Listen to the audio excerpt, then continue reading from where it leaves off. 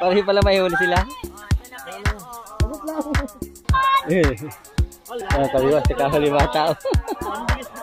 Oo, nakahuli rin yung isa. Sabay-sabay sila.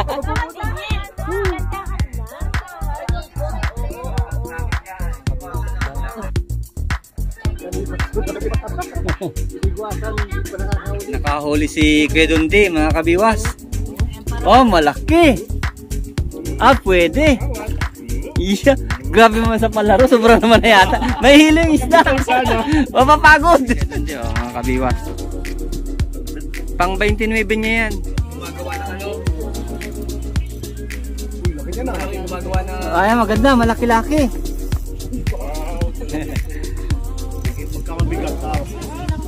Ayan, dapat ganyang kalalaki.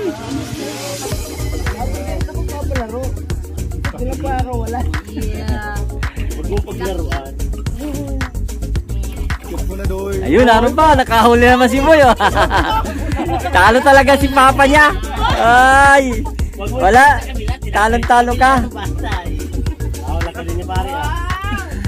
Kabiwas, nakahuli uling kasama natin. Ayun. Sige, palaroin mo. Straight mo lang, ganun mo na lang. Oh. Para makalaro ng maayos. Ayan oh. Ah, malaki mga kabiwas oh. Yan, galing.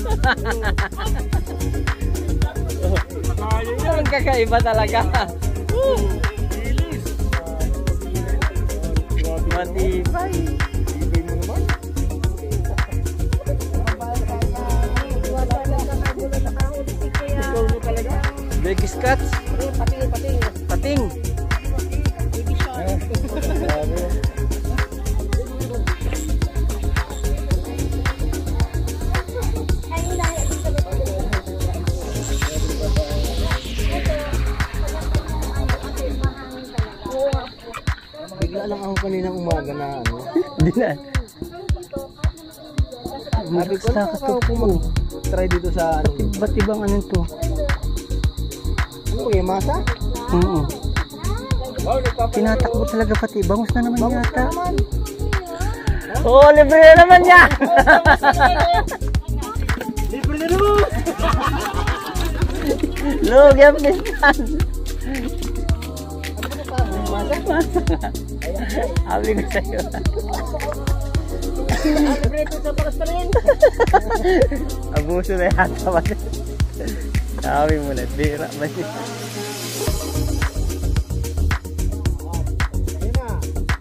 Man, madaling pag-uod din ito.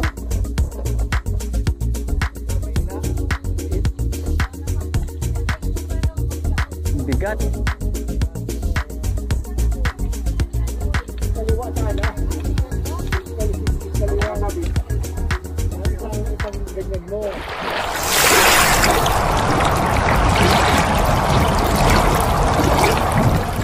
Ay mga kabibas. Punta kami dito sa ano, sa kanilang hatchery. Ah, ito pala. wow, ang laki pala nito. Ang daming mga tangke. Ito pala yung mga tangke nila, mga kabibas. May facilities pala talaga sila dito. May swimming pool pa sa gitna.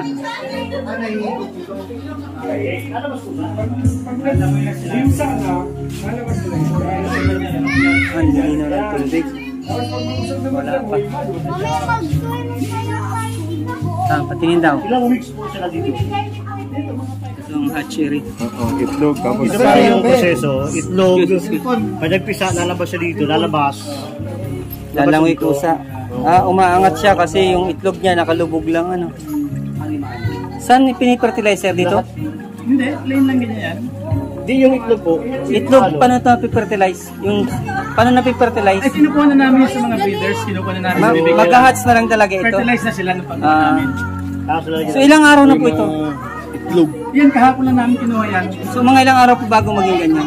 Tapos pag lumalangoy Ang na, hatching ano kasi, depende sa water Ito yung pinaka-egg nila mga kabiwas. Kaano yung temperature niya kuya? So kung nakakansin nyo, systematic lang yung gawa nila. Yan, Ini-aerate siya, ini-aerator. mga 20, 28. And then kapag nahat sila, kusa silang lalabas dito. Ayan, kasi aangat sila lulutang. Yan, ayan yung Ito na pinaka... niya, kinukuha na namin sa bibig ng mga inahin. Na siya.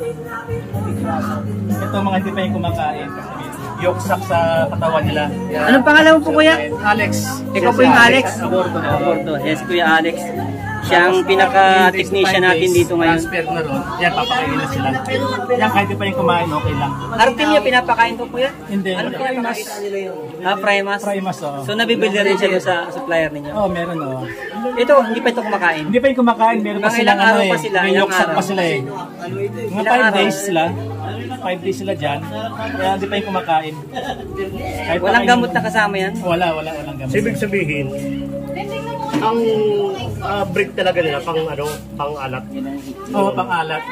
Ang tubig po nito ngayon ano? Ito fresh water ngayon yan. Fresh water pa. Fresh water ngayon yan. Kailan sila magiging pangalat ng Pag malapit nang ihulog, ina-acclimatize ko na sa alat. mga ganong anong anong size na punong kuya?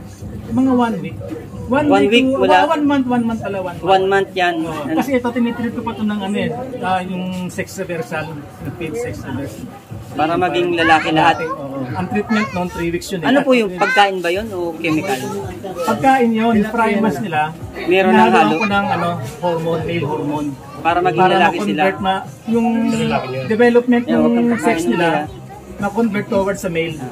Ganun. Sa Lapu-Lapu, iba naman. Lahat sila sinilang na lalaki, magiging babae. yun. Kaya, ano, Mm. Kuya Alex, technician ng tilapia dito sa Camarines Norte. So, ayun yung mga lagay nila ng mga fingerlings. Napakarami. Ano kaya? May first step, step by step ang transfer. Develop na pala sila dito. Step by step. Yan po kuya, lahat yan. Fresh water pa yan nandyan lahat. Fresh water pa yan. Tapos pagka-transfer ko na sa pan dyan, acclimatize ko na yun sa salt water. Saan factory nila lang dito? Yung pinuntahan yung pan doon, meron akong tubo ron, nakakonekta rito yon. Kaya pag nagpaandar ako ng pump doon, pasok dito yung alat. Alat. Tapos sinitimpla ko na yan. Tapos sinusukat ko yung salinity, yung paghuhulugan, pinaparehas ko rito para paghulog ng pantay. Yan. Ano to? Mga lalaki nandito? Babae? Halo na yan mga breeders, male and female na yan. No? Sa dulo yung mga ano. Mga breeder. Ano sa dulo? Ayan. Mga breeder pala nila ito, mga kabiwas malalaki na. Ayan, sa kabila, sa kabila.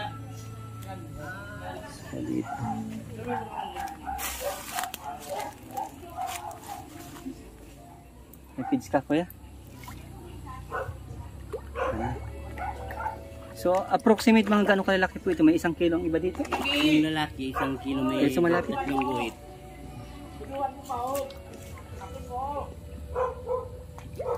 Ayan. oh. Isang kilo may dalawang guhit ang isa. Ito po, yung may mga pinakamalalaki. So mga kabiwas, yung pinakamalaki dito mga 1.2 kilos pala. Mga breeder nila. May ano na sila, may... Ano pangalan mo kuya?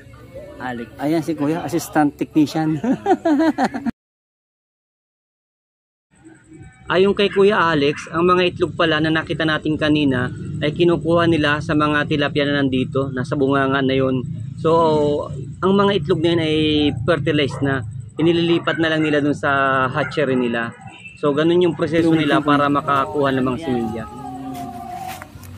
Yan, Ah. ano yan, ibang... Ang average na timbang ng mga tilapia na nito ay 1 to 1.2 kilograms. O ito naman mga kabiwas, yung kanilang mga feeds, ang brand ay BioGreen. Ayan, yan yung mga effective na feeds na ginagamit nila. Mga kabiwas, iniwan ako ng kasama. Di ba yan, natin sa labas. Mga sabik na nag-iinom, mag-iinuman pa daw sila. Eh. Tara mga kabiwas, punta na natin yung kanilang fish pond. Ayan, malapit na kami. Ang daming fish pond dito, kabi-kabilaan. Mamimili ka kung saan ka magpipishing. Ayan mga kabiwas, ang fish pond na ito ay pag-aari ni Kuya Ray Abordo, taga Bagasbas. So matagal na kami naghahanap ng ganitong klaseng fish pond, yung pwedeng magbayad para babayaran namin yung mahuhuli. Kasi dun sa mga time na malakas ang dagat, wala kaming mapuntahan. Ito na yung hinahanap namin mga kabiwas. Kahit masama ng panahon, pwede na magtanggal kati yung mga kabiwas natin dito sa Bicol. So ito yung isang pitak. Tingnan nyo mga kabiwas, sobrang dami ng tilapia oh. Pero medyo maliliit pa ito. Approximate siguro mga 3 inches pa lamang yung laki niya. Pero napakarami. Pinapadrag ko yan eh. Hindi, ako nakuha. Ang ingay mo kasi. Huwag ka kasi maingay. Naririnig mong pisyang bunganga mo. Masabi yung pisay. Huwag Ayan mga kabiwas, yung mga nahuli nila. Huli ko lang lahat yan mga Huli lang daw ng isang tao yan oh. Ayan, malalaki. May 1 kilo na yung iba. May kalahating kilo. Ito yung ginagawa nilang bait or pain sa tilapia dito. Kasi ang tilapia dito ay brackish water. Ayan. Ang tawag dito sa amin ay umang. Siya, hermit crab din yan. Mga umang. So, hermit crab yan sa English. Dito sa amin, ang local ang tawag dyan ay umang. So, tinatatak siya o binabaak yung kanyang shell para makuha yung kanyang laman. Ayun, may mga paa sila. Ayan, mga kabiwas. Oh, nakahuli yung bata! Nagkasig. Oo, oh, oh, palag ka rin! Palag ka dyan! Namutla pa din. Nagitla siya. Kaya na natakot naman. Sama mo na yung pare. Ayan, oh. Sama mo na yan. Ayan, huli ni Tutoy. Para ano, Mas perolan. Hoy, laki na naman. Ayun, huli. Wow. Sobra na yata yan. Nakakatigli limang kilo na kayo. Ah, mga kabiwas, ah, ito si Kuya Ray na aborto. Ano mo po si Ate Cherry? Pinsan. Ah, pinsan. Alex, Alex, sorry. Ray ba? Alex? Anong tunay na pangalan? Ako? Ako po. June. Yung Alex yung kuya ko. Ah, si Kuya Jun pala ito. Magkakapalit pala sila. So sila yung may-ari ng mga pispan dito sa lugar ng Bagasbas na kung saan ay natagpuan namin nga na pwede pala tayo mag-pay fund dito, mag-fishing. So may discount daw dito kapag miyembro ng Sinag. Nagsisimula. Ah. Walang problema. So pro-promote namin to kuya. Ah, make it sure na mas maraming tilapia sa mga susunod kasi maraming naghahanap ng ganitong lugar. Actually, matagal na namin plano ito, Apo. 2000 pa. Kaso umuwi na ako ng Manila ulit. Ngayon na nagbabalik. Dahil marami na tayong supply ngayon ng tilapia, dahil may hatchery kami, Okay. hindi tayo magkakaproblema So sa bilib pati ako kuya kasi yung inyong tilapia ay brackish water. Ano po? brackets yan. So, yan yung gusto namin tuklasin noon pa na talagang buhayin yan. Kasi ako taga Paracali ako.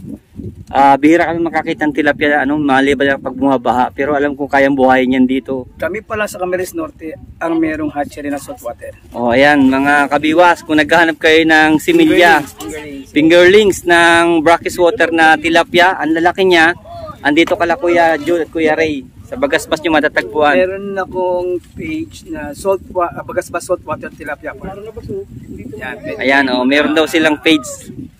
So, madadala siguro ang punta namin dito, pamilya, tuloy picnic. Yes. Ah, unti-unti ayusin natin kung paano sistema rito. Okay. Ang ganda kuya, may kawilan talaga sa gitna, may cottage. Meron. Ah, darating tayo dyan.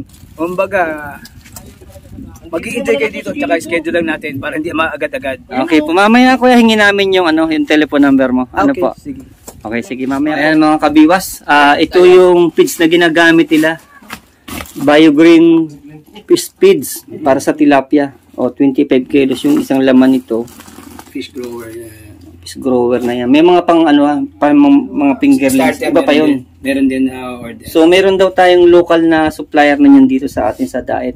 Kaya kung magpipispan kayo dito, ayan, hanapan na lang natin ng magandang market. yung mga gusto maghulog ng mga ng ah, tilapia sa fish pa na walang panghulog, pwede natin hulugan. Pag-usapan natin ng Okay. sistema na lang kung paano ang ano natin, pwedeng hatian, pwedeng depende pag punta lang kayo dito pag kailangan nyo. O, Contact ayan, kami. nagbibigay ng info si Kuya na kung may mga pispan tayo dyan na nakatiwangwang, wala kayong puhunan, gagawa natin ng paraan. Pwedeng sila manggaling, sa kanila manggaling ang similya, tulungan pa kayo sa feeds. Yan. yan. And then sa market, yung pinaka-importante, dapat may market.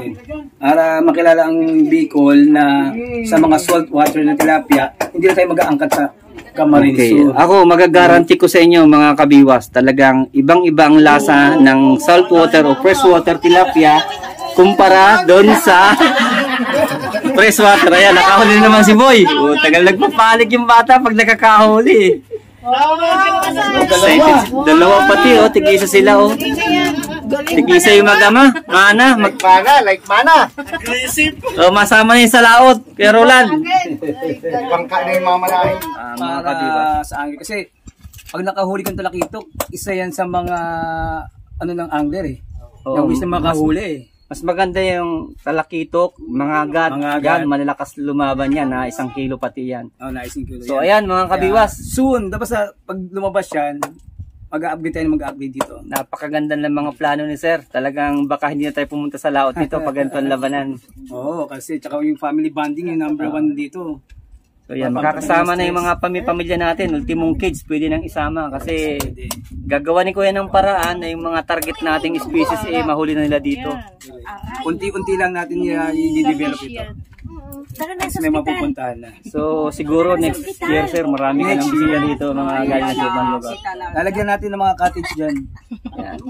Para So napakalaki ng area, talagang pwedeng pwede for expansion.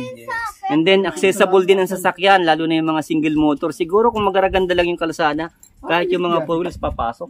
Pasok naman four wheels dito, kaya lang medyo... Medyo may malalalim kanina kaming nakita. Pero yung mga Pero 4x4 kaya. Nakahuli uli si Kuya Dundi. Ah, talagang pinipili ni Kuya Dundi malalaki oh. Sa biwas, nakahuli uli yung kasama natin. Ayun. Sige, palaroin mo. Straight mo lang, ganun mo na lang oh. Para makalaro ng maayos. Ayan oh. Ah, malaki mga kabiwas oh. Yan, galing. Ay, nakawala. Dandahan kayo dyan eh. Malaki yan. Ayan mga kabiwas, nakahuli si Kuya Dundi. So dito ang sigurado wala kang zero dito. Basta maglagay ka ng fishing rod. Wow, laki. Hali na naman ni Bro Emer. Ang laki pa ng lalagyan mo bro. Huwag kang mag-alala. Iyo, talagang pinapatakbo pa. Ninanam na mo namang mabuti. Ganyan ba kayo palaro ko dun sa ano, sa kini? Ayan. Mga pam- Mga sa buhay naman niya. Ano ka? Oo. Yan, nakahuli si Boy. Version na lang sa mga lalaki na oh. oh. Nainom ka pala pag ganyan ang pulutan? Ngayon ko lang naalaman yan. Ah, mga kabiwas, oh. Tapos na ang session dito sa Paypan ni Kuya John. Kuya John. Kuya John. Oh, yan, siya may-ari ng pispan. Oh, Yan, ready na lahat. favorite. Ay, sarap. Saan yan, daddy? Dito rin po. Ano, papakonfine kang dalawa ha? Bakit na naman? Matigas, matigas. Ayun, nakita niyo yung malaking ibon na yun. Nagdadagit yan ng mga ano, isda dito. Apat na piraso daw yung malalaking lawi na yan. So, nangahunting siya ng mga tilapia. Kinukuha niya. Andito ang daming tilapia. Yung kabiwas. Ano? Sobrang dami. Yan, tilapia lahat yan. So, practice water na tilapia. Kaya napakasarap. Tumikim kami kaninang iniyaw. Ibang-iba ang lasa sa first water na tilapia. Ayan, mga kabiwas, kahit isang lugar ka dito pumunta, dami talagang tilapia. Ayan. Siya yung katiwala ng noong pa mula sa lolo. Four, four decades na siya sa Ah, amin. for decade. 40 years na siya dito na gano, nag-aasikaso sa pispad na to. Kaya pala kayong pasig kayo nakatingin. Medyo mahihain lang yan. Yan ang lolo na kid. Anong apelyido po niya? Makaro. Makaro. Ay mga taga Parakali ng Makaro. Ano kuya? Parakali. Taga dun po ako. Si, si Kuya Kid Makaro. Ayan, kababayan ko pa yata ang ninuno nito. Subukan natin mga kabiwas pakainin yung mga tilapia sa kabilang side. Kasi paglapit ko kanina, kawawa naman. Lumalapit sila. Ayun. Grabe, dami. Ayan. Kakarambulan na sila mga kabiwas. Gutom na. Walang kahirap-hirap kawilin to. Di ka, anti-zero dito, anti-zero mga kabiwas. Ano yung motor natin? Napahiwalay.